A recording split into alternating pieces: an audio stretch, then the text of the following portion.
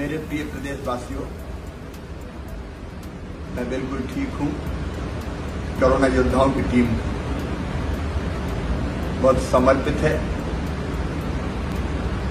मैं प्रदेश के सभी कोरोना योद्धाओं को प्रणाम करता हूँ, जो अपनी जान जोखिम में डाल के दूसरों की ज़िंदगी बचाने के काम में लगे हुए हैं।